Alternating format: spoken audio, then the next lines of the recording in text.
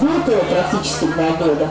Э, э, Прошлое, позапрошлое, особенно позапрошлое лето, когда была здесь авария, очень сильно осложнила ситуацию, потому что переброска и поддержание уровня Москва-реки осуществлялось только через